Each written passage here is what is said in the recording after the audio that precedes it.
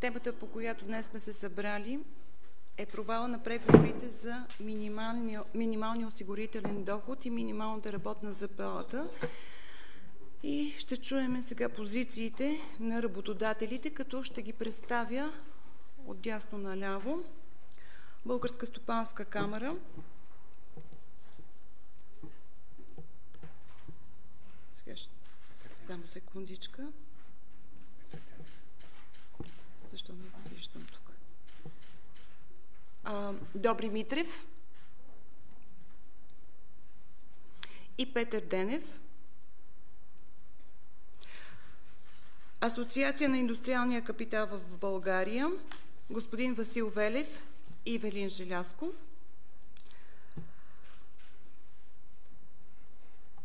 Конфедерация на работодателите и индустриалците в България, господин Кирил Домощив и Евгений Иванов и Българска търговско-промишлена палата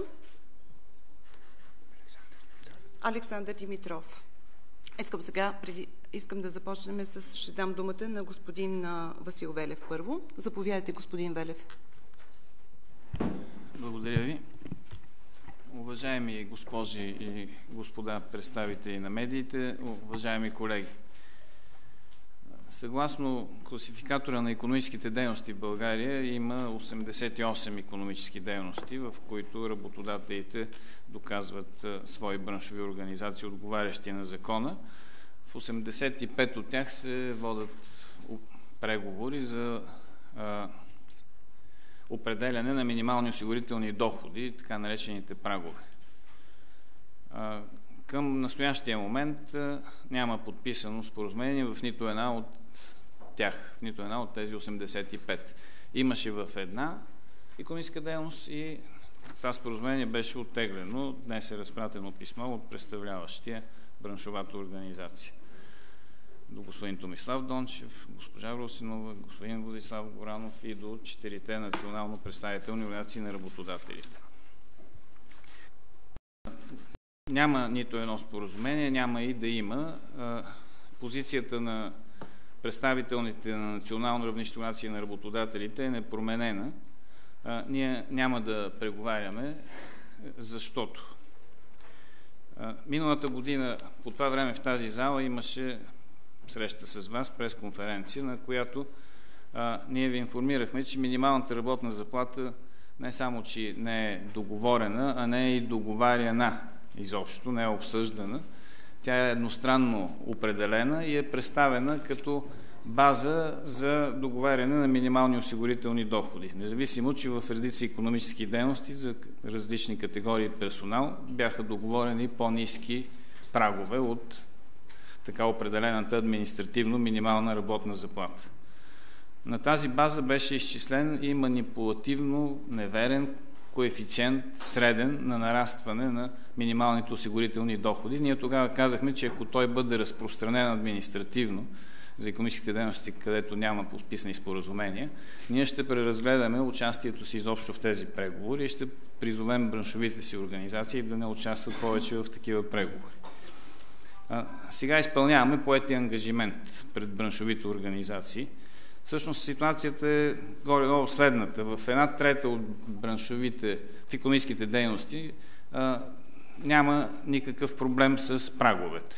В една трета има проблем, който е по-скоро отгоре. Смисъл такъв, че праговете са ниски за тях, Сключват се договори от неизрядни работодатели, които са в сивия сектор на минималните осигурителни доходи, доплаща се извън счетоводно в пликче и по този начин нелоялно се конкурират нашите чинове, бизнеса на свето. Извличат се конкурентни предимства от едно виновно поведение, от е, укриване на осигуровки. А това е друга една трета третата, една трета има проблеми, които са отдолу. т.е. праговете са административно повишени.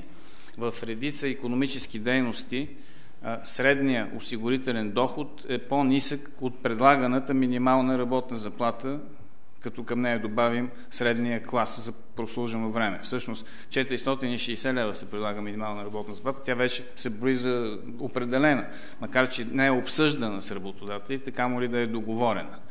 Към нея, като прибавим средния клас за прослужено време от 12%, става 515. Тази минимална работна заплата, реална 515, която се предлага за до година, е по-висока в или близка до средния осигурителен доход в 10 економически дейности, където се трудат 300 хиляди заети. Тоест за тези браншови организации това е проблем, който а, а, ги кара да бягат в сивия сектор, тяхните чинове, или ограничава заетостта в а, а, ниско квалифицираните професии и категории персонал. Искам да декларирам отсъствие на конфликт на интереси. Представляваната от мен група компании, средния осигурителен доход е далеч по-висок от средния осигурителен доход за страната. Ние тук не сме пред вас застанали да защитаваме лични корпоративни интереси, защитаваме интересите на бизнеса, на бизнеса, който е на свето. И аз искам да благодаря от името на нашата асоциация на индустриалната в България на всички браншови организации, които въпреки, че за тях не създават никакви проблеми тези прагове, не подписват споразумение за проявената солидарност. Защото за тях ще е по-лесно, за да се отърват от този проблем, да подпишете ни споразумение. Те имаха и такива готови. Но те проявиха солидарност, никой от тях не подписа такива споразумения. Става дума и за браншове като машиностроене, електротехника, пътно строителство, козметика, транспорт, авиотранспорт и така нататък. Няколко думи за, за предисторията. 2003 година са въведени като временна мярка тези минимални осигурителни доходи. И тогава и сега няма друга страна в Европейския съюз, която да има такива прагове. Те осигуряваха известни постъпления и имаха известна положителна роля в началния етап от въвеждането им, но след 2007-2008 година ползите от праговете са много по-малко вече от вредите и ние години наред а, сме а, упреквани от а, браншовите си организации, наши членове, че не поставяме остро въпроса за прекратяване на а, тази а, дейност, а, наречена договаряне на минимални осигурителни доходи. А, ако беше нещо толкова хубаво, а, щеше да го има в Германия, Швеция, Австрия, изобщо в тия държави, където а, върви потока от е, емигранти, наречени още бежанци. Не само в тези държави го няма, пак повтарям, в нито една европейска държава няма а, минимални осигурителни прагове. А, Европейската комисия, Световната банка, Международния валутен фонд, във всеки един доклад по темата е отправил упреци към нашата страна, като ги е обосновавал с увеличаване на сивия сектор на пазара на труда и ограничаване на заетостта в територии, професии с ниско заплащане и с ниска квалификация. От миналата година, знаете, се криминализираха осигурителните измами. Тоест, Въведе се наказателна отговорност, наказателно преследване, при това само за работодателите, при осигурителни измами. Т.е. когато се осигуряват на сума различна от реалната, която им е определена като възнаграждение. Ще цитирам един синдикален лидер. Той казва, че минималните осигурителни доходи са договорената договореното равнище между социалните партньори и държавата, на което а, да се извършват измамите. Тоест, а, на този прак, ако се осигурява един вид а, работника и служителя, а, работодателя е вън от опасност да бъде запитан, ама това ли е реалният доход, който му плащаш? А, ние сме а, както против договаряне на равнище на лъжата, така и против административно определяне на равнище на лъжата. А, стига с лъжите, трябва да се осигуряват всички на равнището, на което им се плаща. И а, контролните органи а, имат а, всички а, инструменти да се справят с този въпрос. Така както се справят с а, а, данък добавена стоеност и измамите там, така както се справят с измамите при акцизите. Виждате, събираемостта, ръста на приходите по тези пера расте в по-голяма степен, по-бързо, отколкото расте економиката, т.е. увеличава се събираемостта. По същия начин, ако се постави за цел, могат да се справят и с осигурителните измами.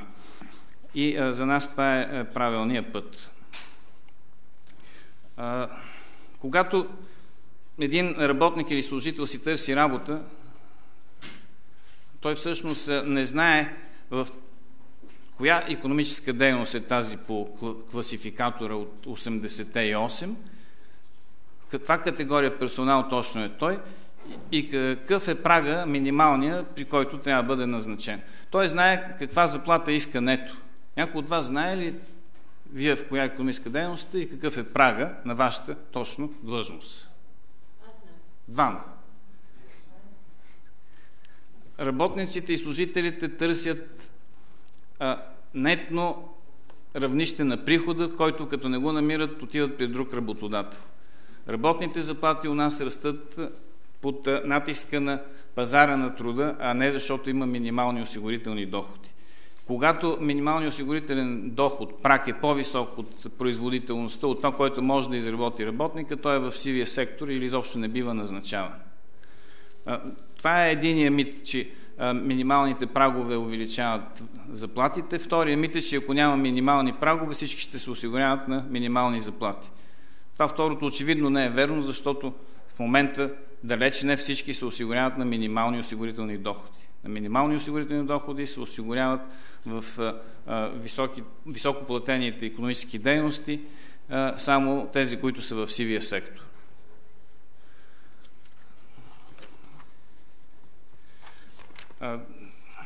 Минималната работна заплата, която е представена с писмото на министра на труда като факт и на тази база трябва да се договарят праговете, пак повтарям, нито е договорена, нито е договаряна изобщо. Тя не е обсъждана в тристранния формат. А, а, и а, за това ние декларирахме, че няма да а, участваме в преговори, призовахме браншовите организации да обсъдат този въпрос на, в своите ръководни органи. Ако някой а, вземе различно решение да ни уведоми, до този момент никой а, не е взел такова решение и не ни е уведомил. Тук са четирите представителни национални организации на работодателите. Други представителни няма. На вашето внимание е раздаден доклад, който категорично доказва това. Готови сме последствие да отговаряме на въпроси, ако има на тази тема. Също така са представени и графики, които се вижда как минималната работна заплата се откъсва от действителността. Последните години, чрез административното и повишаване, тя е, расте два пъти по-бързо от средната и четири пъти по-бързо от производителността на труда. Съотношението минимална работна заплата към средна по тая причина е достигнало космически величини, най-неблагоприятно в целия Европейски съюз и далеч над средното. А виждате, че за някои области и економически дейности е достигнало до 80-90%. Очевидно, така не може да се продължава. Решението, което ние обсъждаме, е да се предложи ратифициране на Конвенция 131 на МОД, да се договарят минимални работни заплати по економически дейности, а не да са еднакви за страната. И в колективните браншови трудови договори браншовите организации могат да договарят препоръчителни индекси на нарастване на възнагражденията, които не могат да обвързват не тяхни членове. Благодаря Благодаря, господин Велев. Давам думата сега на господин Евгений Иванов, член управителния съвет на Конфедерацията на работодателите и индустриалците в България. Заповядайте. Благодаря. От въвеждането на системата за преговори за определене на минималните осигурителни прагове от 2003 година, КРИП поддържаше тази, този подход. Не защото е добър, не защото а, няма нещо по-добро, но към 2003 година това беше единствения възможен начин да започне някакъв натиск срещу сивата економика, което от създаването на нашата организация е и наша основна цел.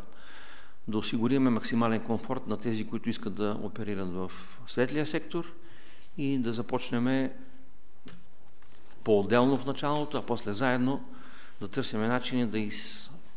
да вадиме на светло тези, които плащат на нива минимална работна заплата, че дори и под нея, а останалата част, както каза господин Велев, извън счетоводно в пликче.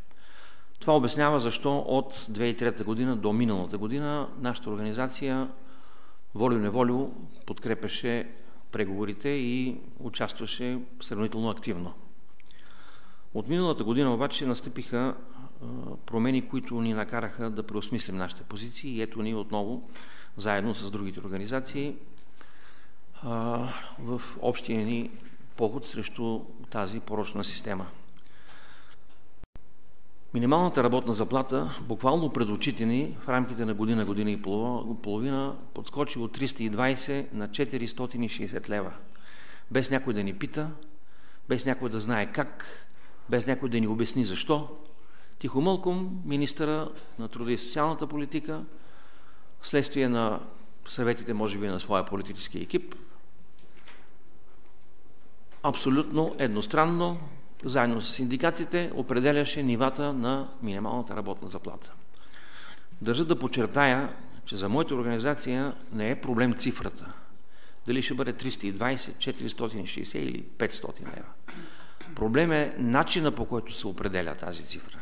Защото ако днеска цифрата не ни притеснява, утре може да дойде министър, който да каже от днес минималната работна заплата става 1500 лева. Какво правиме тогава?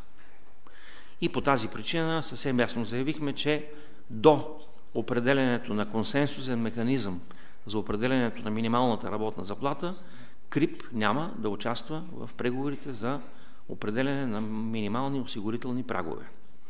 Като в духа на партньорство, ние сме все пак социален партньор, заедно с другите три организации на работодателите, предложихме един много бърз и бих казал самоналагащ се акт, т.е. ратификация на една конвенция на МОД, която съвсем ясно се казва как се определя минималната работна заплата, кои са факторите, които определят цифрата а, и вече от тук нататъка всеки един работодател ще знае до година какво може да очаква като минимална работна заплата и ще може да си прави съответно бизнес плановете.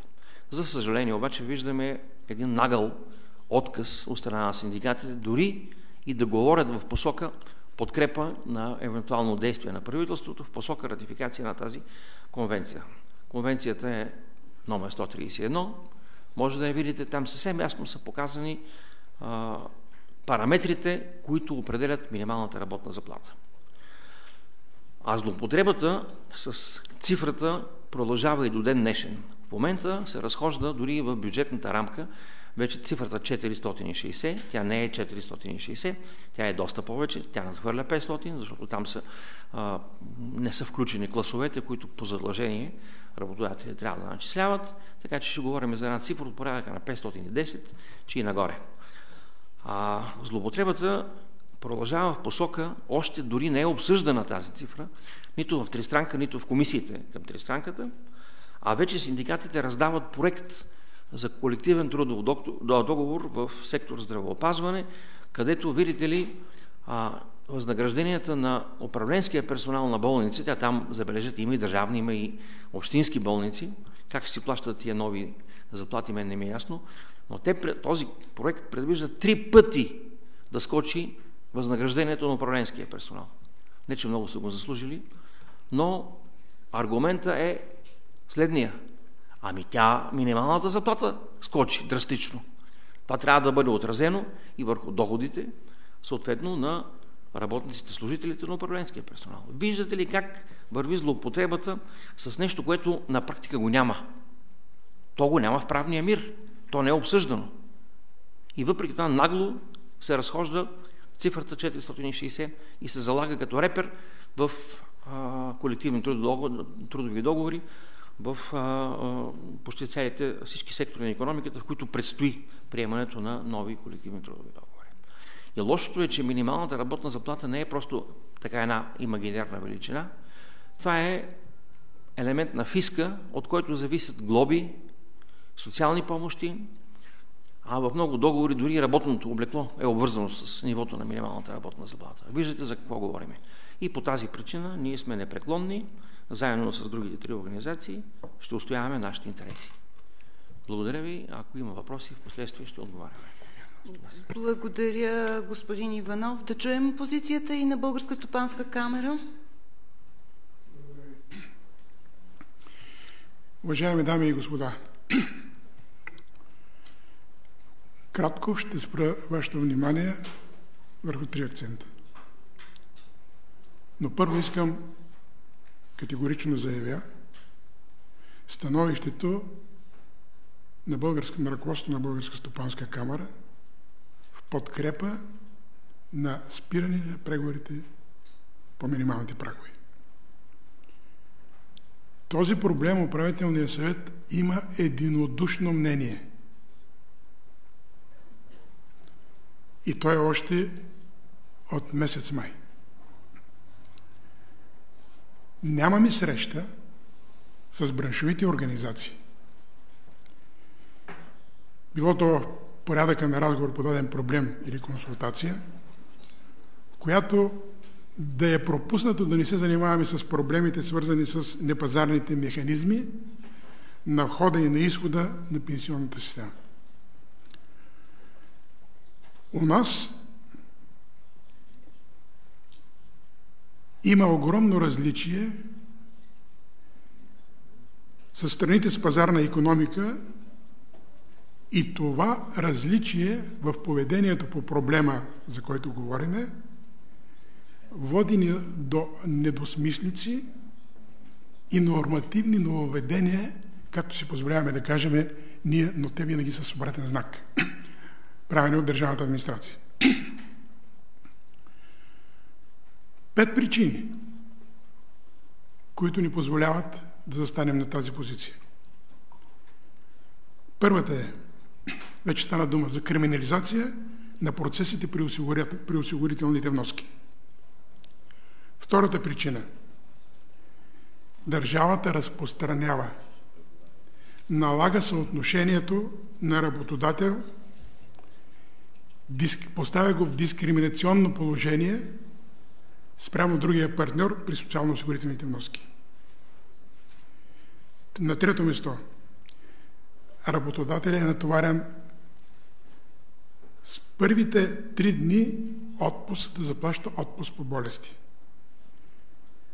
У нас тържествува непрозрачните процедури при иновациите иновативните решения в пенсионната област.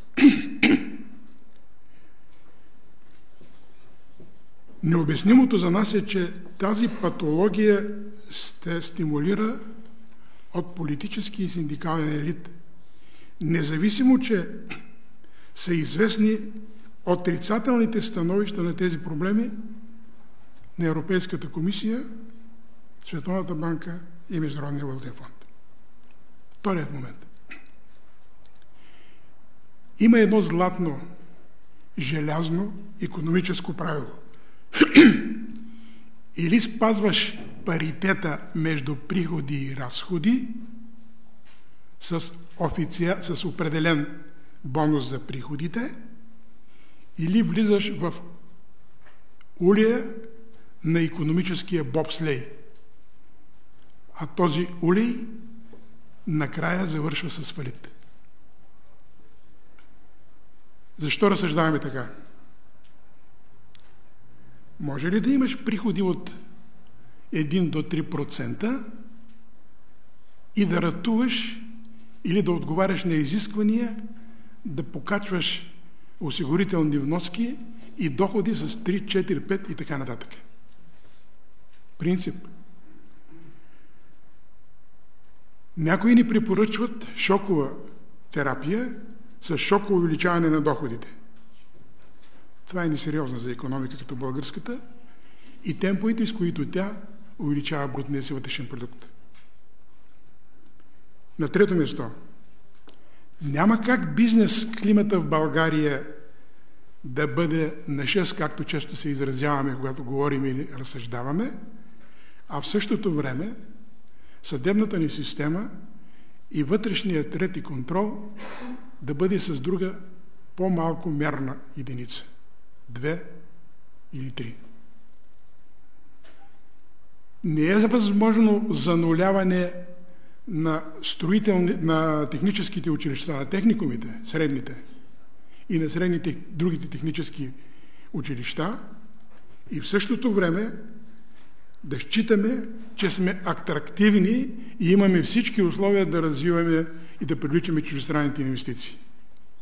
Няма как това да стане.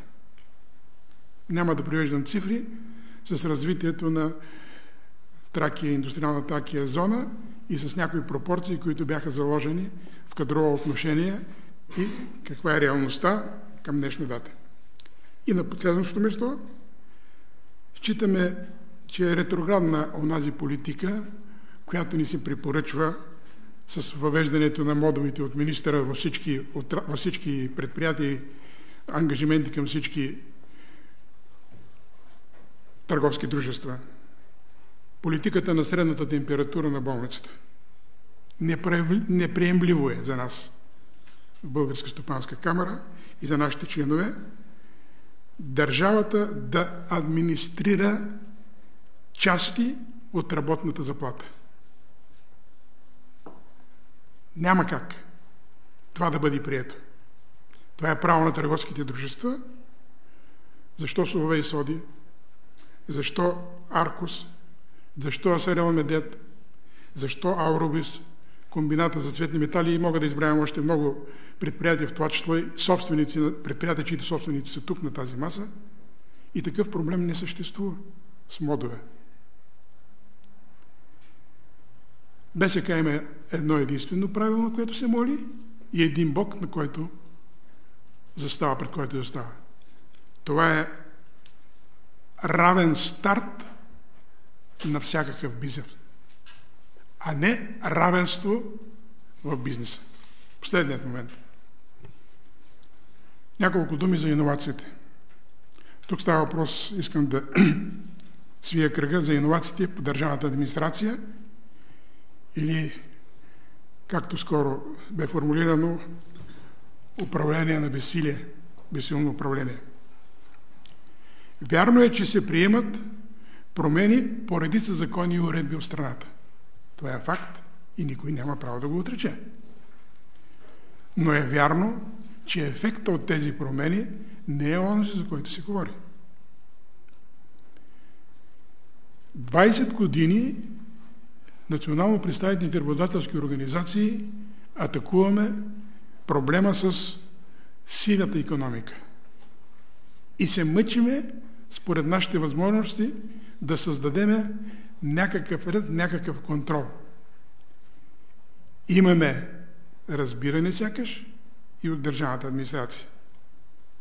Но истината е, че пространството на силата економика не намалява, а бавно и систематично увеличава своите размери.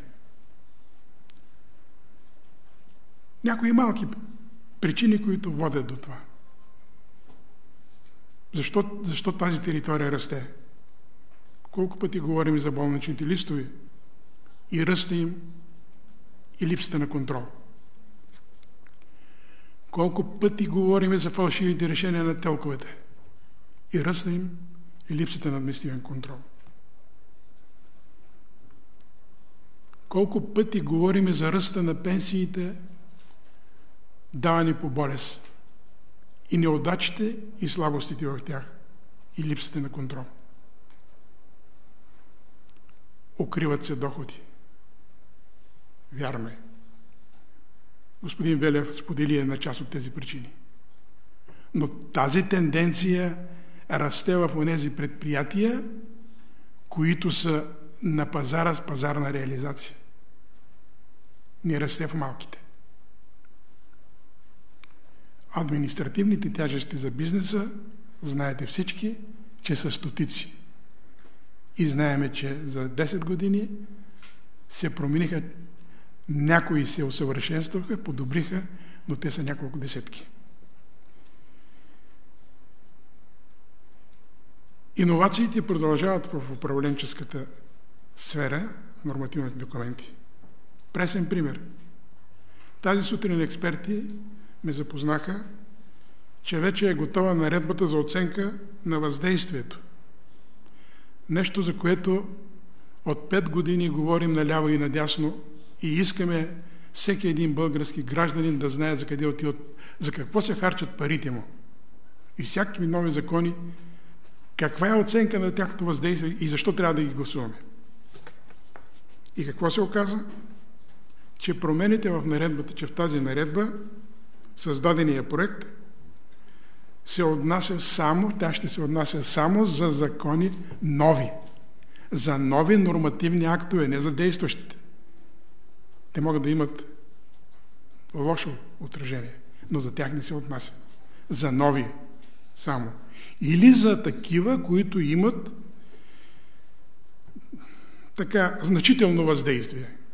Какво е това значително въздействие? Всеки от нас има мнение по този въпрос. Вярно е, че истината боли. Тя боли и нас, когато се отнася за нас. Но тя е истина. Защо нямаме система за ограмотяване на българите в областта на социалното осигуряване и социално-осигурителните права? Голяма част от младите работници това е в резултат на проучване, които сме правили, знаят, че, социално-осигурителните дейности, това са неща, които са за далечни години. Я стигнем до пенсия, я не стигнеме. Работодателите са били виновни. А никой не иска да обясни, държавата ни най-малко, или синдикатите, че осигурителни действия настъпват и на млади години. Никой не е пред, запазен от трудова несполука, не дай Боже.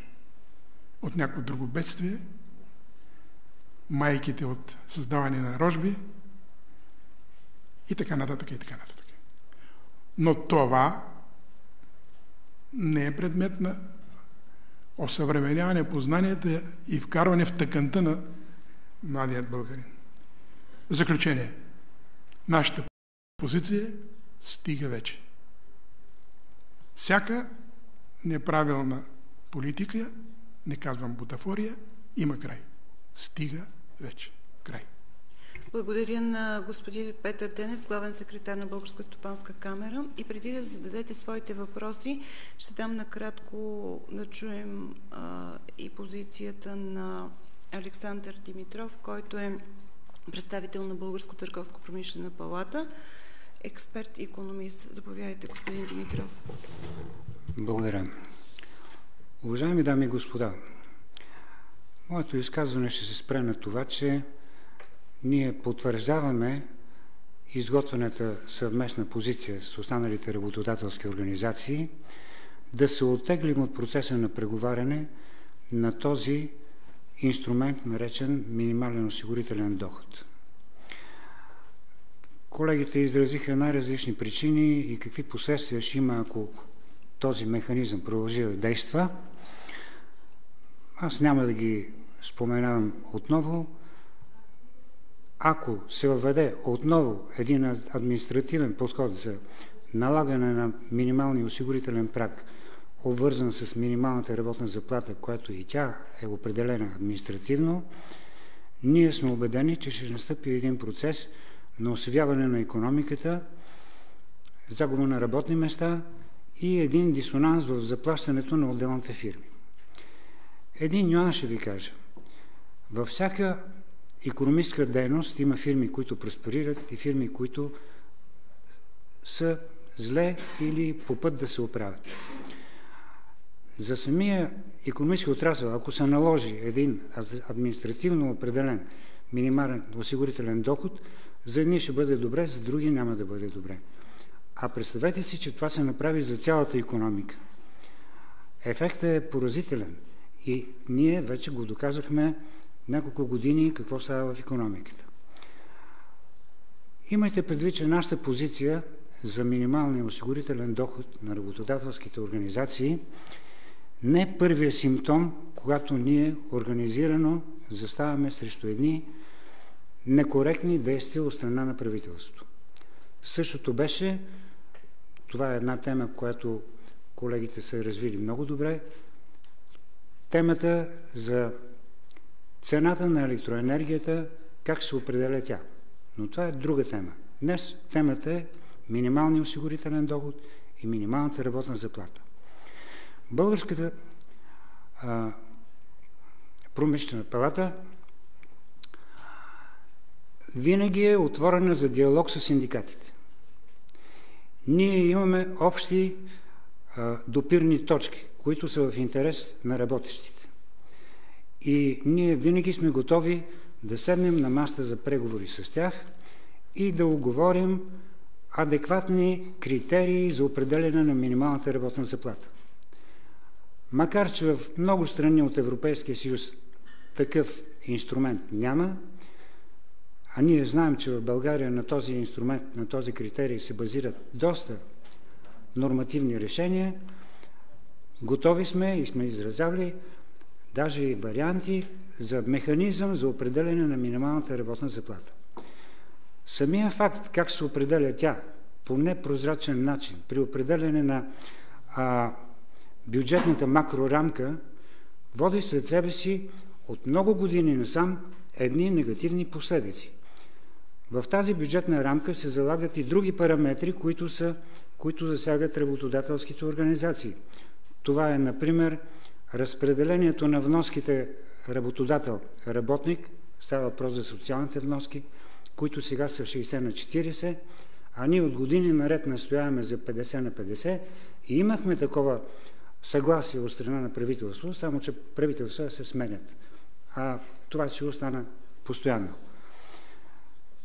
И други параметри има в бюджета, които не са ясни, до последния момент няма да бъдат ясни, защото обсъждането на този бюджет става страшно набързо.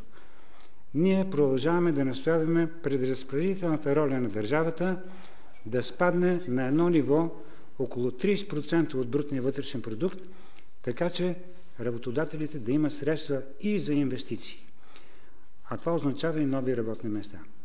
В заключение ще кажа, че ние категорично заставаме зад общата позиция да отпадне този инструмент, минимален осигурителен доход, като елемент на договаряне. Благодаря за вниманието. Благодаря ви, господа. Нека сега да си зададете вашите въпроси, колеги. А, само ще ви помоля да се представите, госпожа Беновска. Благодаря ви. Беновска, Радио К2.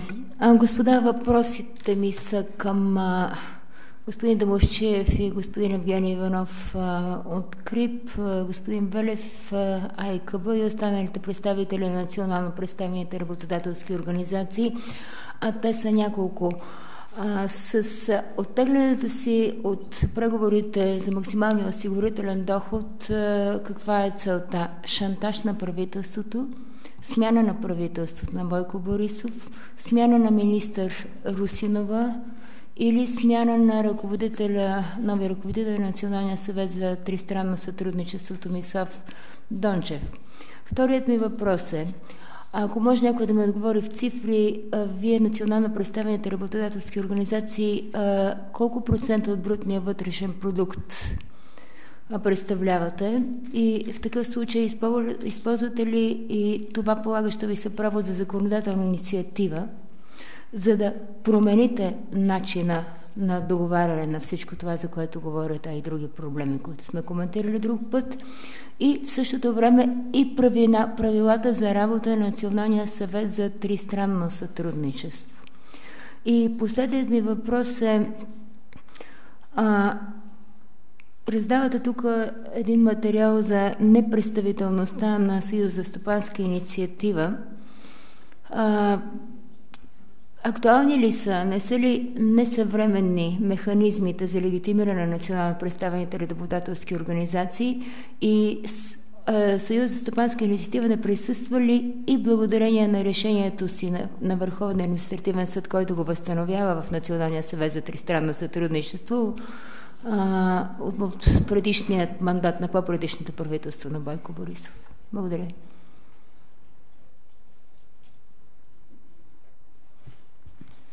Благодаря ви за въпросите. Разбира се, че никакви смяни на никакви правителства и министри не се цели с нашата акция. Цели се да въведем европейски правила и в нашата държава.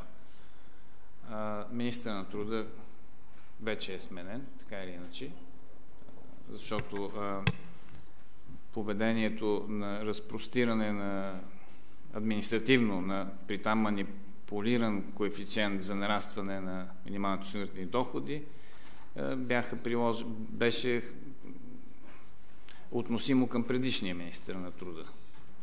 А, ние не а, сменяме и не качваме правителства и министри, това го правят избирателите. Но като че ли синдикатите не са разбрали, че с диктатурата на пролетарията приключихме 89-та година. Сега има демокрация и не се управлява с протести и като глезено дете, като не му се изпълни някоя прищявка, да реве докато не се изпълни. Тоест, ако те искат да управляват, да създадат партия, да се яват на избори, да ги спечелят и да управляват. Но не може те да налагат решение, а друг да носи отговорност за това. Така че по-скоро нашата акция е в защита на правителството, а не насочена срещу него. А, а насочена е срещу синдикалния произвол относно брутния вътрешен продукт, над 90% се прави в членовете на нашите организации, но това не дава законодателна инициатива. Законодателна инициатива. Морално ви дава. Имат депутатите и Министерския съвет, даже президента няма. Относно Съюза за стопанска инициатива, на вашето внимание сме предоставили доклад, който в момента се обсъжда в нашите органи за управление ние ще искаме да бъде одобрена нашата позиция преди да го внесем. Но в него фактите са безспорни, те не могат да се променят с решение. А фактите са, може да ги прочетете на девета страница. От минимум 23 економически дейности, които изисква закона за представителност на работодателска организация, Съюз за стопанска инициатива има в 5. Правите разлика между 23 и 5. Описали сме подробно, комисия нарочно създадохме, поискахме информация по реда на закона за достъп до информация, цялата документация на ССИ, ще качим в интернет, за да може да се запознаете с детайли. За нас тази организация не е представителна, не отговаря на изискванията на закона и е, близо 300 хиляди предприемачи и менеджери не заслужават е, такава участ е, да бъдат представлявани от такава организация. Не ми отговорихте, решението на Върховния административен съд не е ли онова, което възстанови Съюз за стопанска инициатива в Националния съвет за тристранно сътрудничество и не ми отговорихте, нуждаят ли се от промяна правилата за работа в Националния съвет за тристранно партньорство? Нека да ви отговори адвокат Желясков на първия въпрос. Той е много ясен, но е юридически. Благодаря ви за въпроса. Това, което визирате с него обаче, първо се отнася до предходната процедура, а не до тази.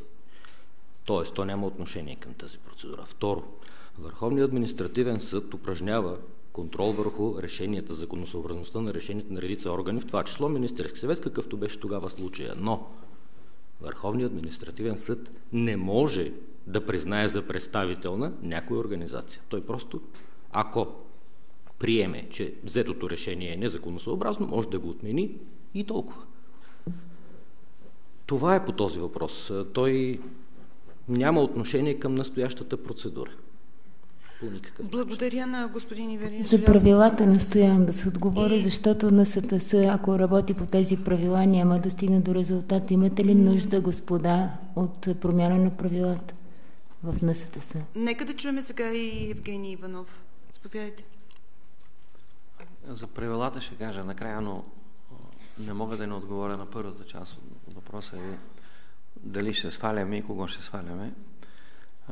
Не само, че не искаме да сваляме когото и да било, напротив, искаме да помогнем на тези, които управляват, дали сегашните или утрешните, или независимо от други ден кой ще бъде, да не може да бъде шантажиран по начина, по който е шантажиран в момента от синдикатите. Всяка година, когато започне да се готви бюджетната прогноза, започва едно чупене, не извиване, чупене на ръце, за да се дигат параметри като минимална заплата, като минимални осигурителни прагове и така нататък.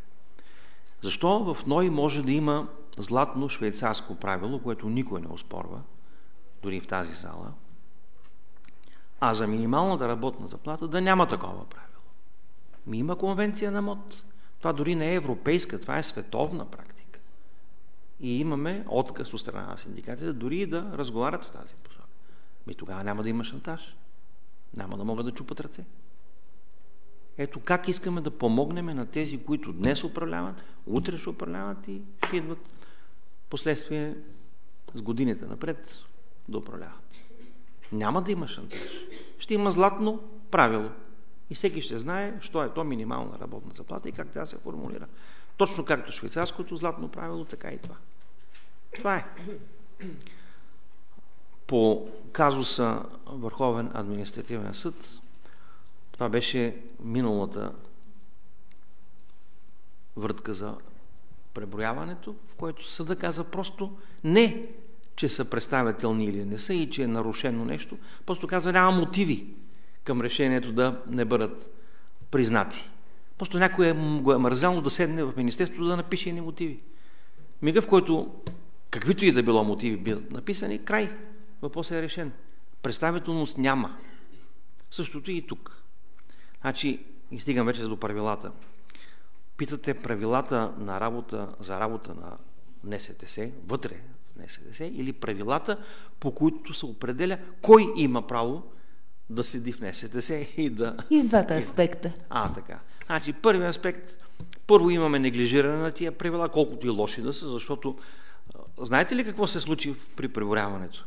Господин Домощиев, неговите фирми бяха посочени в а, кандидати за, а, за, за славата в НСТС, като Възраждане, някои от тях и в ССИ, някои на други места. Може ли да си представите каква наглост? След като той е дал изрично пълномощно Крип да го представлява в НСТС. И тогава става шефа на комисията и казва, а, тук има дублаж. Значи, някой си написал фирмите на господин Домощиев, без да го пита, дори без да членува там. Ей така, просто на хартия написано. Биовет, Хюве Фарма, БМФ, така, така, така, Лудогорец и така нататък. И сега, изведнъж, той трябва да доказва, че няма сестра. И август месец господин Домощиев трябваше да пише нови пълномощни на Крип да го представлява в НСДС. Ето за тези правила, правилно питате, те трябва да бъдат скъсани, смачкани и скъсани. Защото това е безобразие, това е наглост. Всеки, който не го мързи, може да седне и да си направи една работодателска организация, да напише, че Хикс, Y, Z са негови членове, тъй като правилата не изискват първични документи, в които да се доказва съпричастност към тази организация. Няма. Нито молба за членство, нито платен членски внос, да не говорим за признаване на устав, етичен кодекс и така нататък. Така че всеки, извинявам се, сулю-пулю, може да напише нашите фирми, неговите фирми и да се яви на преборяване и да каже шефа на комисията, а сега Домощиев, дай тук пълномощните. Наново. Наново трябваше да събираме това, което сме го дали вече веднъж. Ето тези правила дружно трябва да посочиме на правителството, сегашно, следващо, че трябва да бъдат скъсани, написани нови истински. Да се знае кой седи в тая тристанка и кой от, от името на кого говори. Благодаря ви. Благодаря на господин Иванов. Колеги, заповядайте за въпроси. БТА. Христо Воденов, БТА. А, имате ли подкрепа на политически партии за тези искания? На кои са те и на кои точно искания? И какво би станало? Окей, спират се преговорите. От тук нататък какво? Какво следва? Какви ще са ваши следващи стъпки? Благодаря.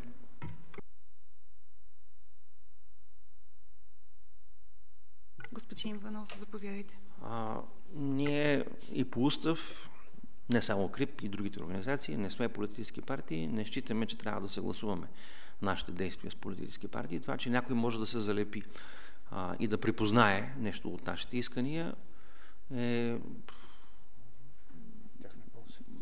е а, действие, което, което, действие, което ние оставяме единствено и само на тяхната дискреция, без да коментираме.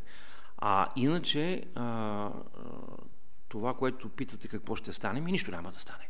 Ще има нулева година. И трябва да ви кажа, че аз помня как с министър от кабинета Борисов едно сме договаряли срещу синдикатите, той между прочим е синдикален лидер, става дума за министър Тотио Младенов, успяхме да ги натиснем в кризата, да обявиме нулева година. Нямаше движение по модовете. Минималната осигурителен превод останаха на нивата на предишната година. Еми това ще стане и тази година. Нищо лошо няма да се случи. Няма да има апокалипсис. Просто това, което сме го играли веднъж, ще го изиграем втори път. Нулева година. Благодаря. Колеги, заповядайте. Може ли аз заповядайте. Да, може ли аз да отговоря? Извинявам се, господин Велев иска нещо да допълни. Заповядайте. Да, да, да, малко още да разширим отговора, ако позволите. Един синдикален лидер каза, до края на август ще има споразумение. Нали си спомняте? Е, края на август мина, няма споразумение. Е, кажи го кой е, сте един синдикален. Те са двама. Не, не е Митко Манолов. Ема каза и да имената наистина, какво е един синдикален? След, след, след което нали, каза, до 6, удължиха срока, каза до 16 септември ще видите какви споразумения ще има. Ще ги направим с ССИ. И ССИ няма. Той не е представителен. Той няма браншови организации, които да са представителни. С кой ще направи споразумение? Тези споразумения не, се, не биха били признати от нашите браншови организации, от нашите четирите организации. Защото нито нашите организации в туризма са преговаряли, ще преговарят, нито нашите организации в търговията са преговаряли, ще преговарят. Не може някой, някой НГО, мама, татко и аз, да подписва споразумения, които да задължават цялата економика. Тоест няма да има споразумение. Какво ще стане, като няма да има?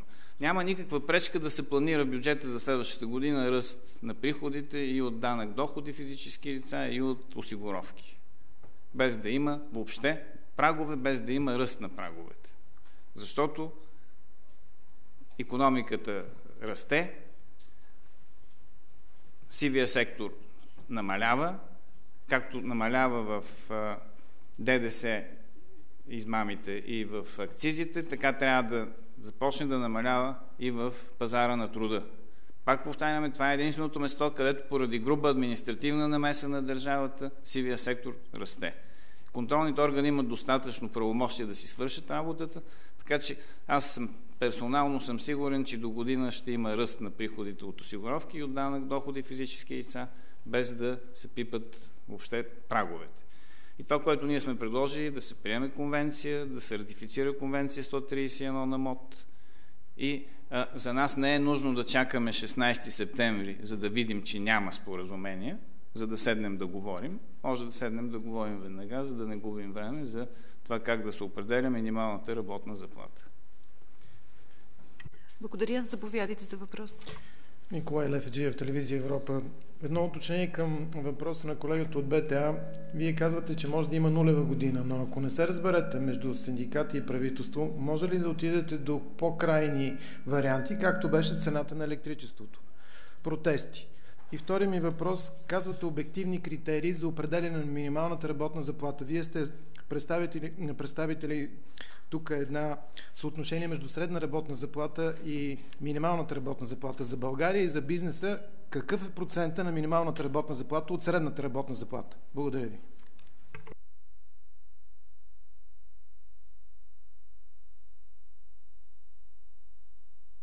Как, какво е препоръчителното съотношение или е беше Точно така, крайно? което вие виждате за вас, което е препоръчително. Да, нали, виждате средноевропейското е 42. Тези економики, които се развиват по-динамично, имат по-низко съотношение. В Штатите е 30, а при нас е над 55, ако се приеме тази минимална работна заплата. А, вижте, не може да имаме африканска производителност на труда и европейски заплати, определени с декрет. Защото това е стремежа. Не да гледаме каква е производителността и колко може да се заработи в ниско квалифицираните и нискодоходни економически дейности, а с декрет да станем всички богати без да работим, по решение на ръководството. На партията. Да, като едно време. Да. За все по-пълно задоволяване на постоянно растящите потребности на трудещите се. Колеги, други въпроси? Ако няма други, може ли един уточняваш въпрос само?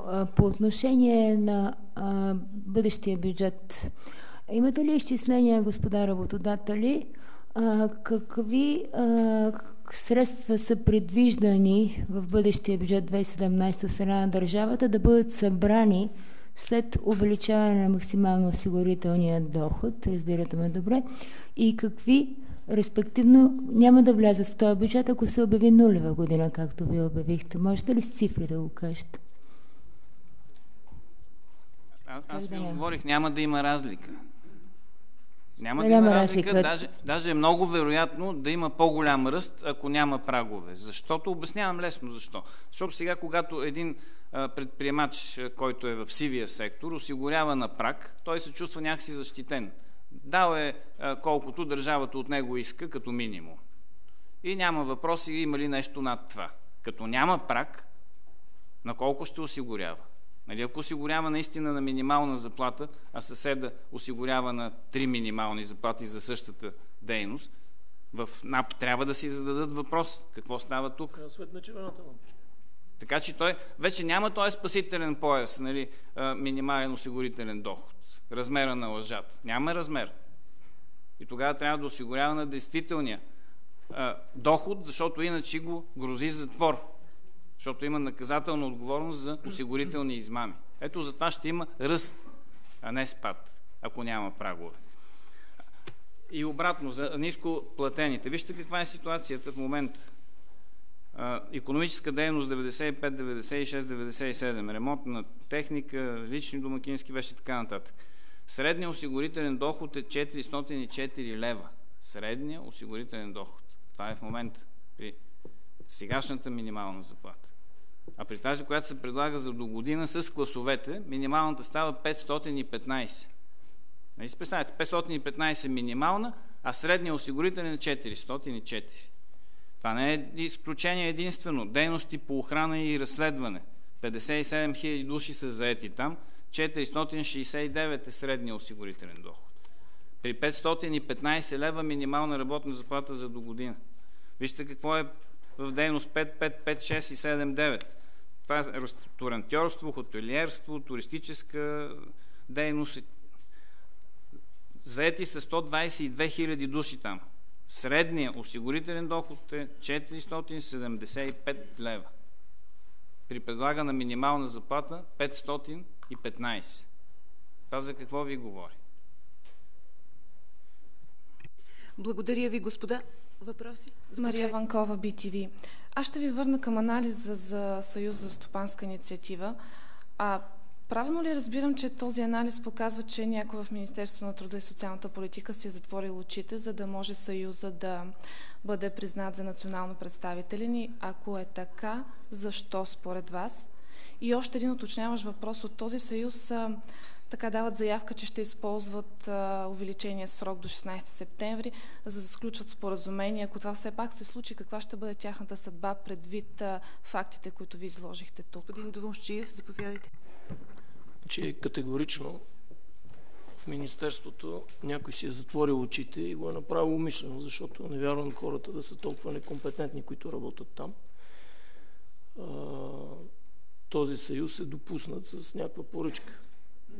За нас няма никакво съмнение, след като направихме съответните проучвания и поискахме всички документи, с които този съюз е бил одобрен от Министерски съвет в последствие за национално представена работодателска организация категорично става дума за първо за много фалшификации, некоректна информация и документи. Ето тук излезнаха и наши предприятия, които са дали категорично пълномощно и на КРИП, и на АЙКБ, и на БСК, и на БТПП и така нататък, които а, още не са дали пълномощно на тази организация, но са в бройките им. А, да не говориме, тук ви предоставихме и нашите изводи, че те не покриват а, необходимия брой а, отрасли, покриват само 5 от а, тези, които са определени, които трябва да да могат да покрият 23-5, разбирате, че става дума за една абсолютна манипулация. Има решение на Министерски съвет, одобрени са, ние съответно ще внесем нашия доклад до Министерски съвет, до министър-председател и ще очакваме да има решение в обратната посока. След като те си извършат съответната проверка и се надявам и длъжностните лица, които са си позволили да заблудат Министерски съвет, да си понесат последствията. В случай, че това не се, защото предполагам, че това ще бъде следващия въпрос, в случай, че това нещо не се случи, поне така като на първо четене, като си говорим работодателските организации, ние не бихме влизали в тристранен съвет, където присъства с ИГ. Така че правителството и синдикатите ще трябва да си водят разговори с тях, след като считат, че те имат представителност. Това е по този въпрос. Не случайно бързо се и ожениха с синдикатите. Едните си намериха веднага удобен партньор. Не виждам как до 16-те нещо могат да разпишат, тъй като, както и господин Велев каза, те нямат никакви отраслови структури, никакви браншови организации, за които те могат да разписват. Така че сме държавата на парадоксите. Но след като не се спазват правилата, не се спазват законите, нормално е ние да не можем и да не искаме да участваме в а, а, тристранни съвети и да правим компромиси. Ние сме за това организация защитаваме интересите на българската индустрия. Това е така. Може ли да вършите отговора към BTV? А, някой умишлено е подвел министър-председател и целият министерски съвет. Кой и ще поискате ли прокуратурата да се заеме с това по отношение на влизането на ССИ в тристранката? Може ли накратко, защото вече времето ни изтече? Това е много важно. Че първо Какво искаме накратко? да видим, след като предоставяме нашия доклад, който е с конкретни цифри и данни, каква ще е реакцията на Министерски съвет и тогава можем да коментираме каквото, каквото и да било друго. Но ние считаме категорично, че някой не си е свършил работата. И ако този някой не си е свършил работа, той по някакъв начин трябва да бъде наказан. Дали уволнен, дали прокуратура трябва да се занимава. Не съм юрист, за да мога да коментирам а, дали е работа на прокуратурата. Но в крайна сметка в Министерски съвет е влезнал доклад, който не е изложил коректно цифрите. Ето, ние направихме проверка, изискахме данните, бяха длъжни да ни ги предоставят и на тая база четирите организации, нашите експерти, се потрудиха, за да можем да покажем това, което ви давахме и днеска на вас, че има огромно разминаване. И независимо, че аз и преди съм го казвал, критериите са много занишени в България, ние сме една от държавите, където има най-много работодателски организации и където критериите са, за представителност са толкова занижени. И това пак е направено умишлено през годините от политиците, за да може да има повече организации, повече разнобой, повече приятелски, ако е възможно, организации, които да разписват с синдикатите и с тях каквото и да било, както случая с, с АИГ. Крайна сметка, независимо от толкова ниски е, критерии, тази организация не покрива дори и тях. И не е редно те да бъдат на една маса с нас. Това е което искам да кажа. Господа, благодаря ви. Колеги, на вас също, тъй като ни стича времето, трябва да приключваме. Закрием пресконференцията.